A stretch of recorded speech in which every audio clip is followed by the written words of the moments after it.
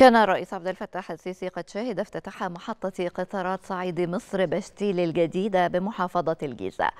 وتخصص محطة بشتيل الجديدة لركاب خطوط الصعيد والمناشي وتهدف لتخفيف الزحام بمحطة قطارات رمسيس.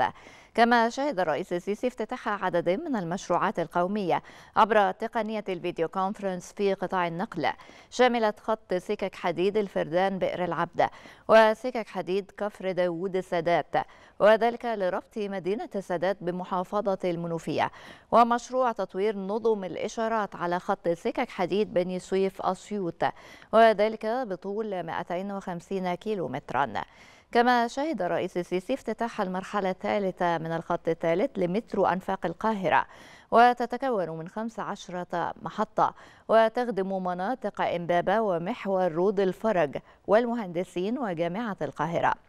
كما شهد الرئيس السيسي افتتاح مشروع محور بديل خزان أسوان ومحور الزقازيق السنبلاوين الحر ومشروع كوبري مزلقان أبو حمص الحلوي. بمحافظة البحيرة.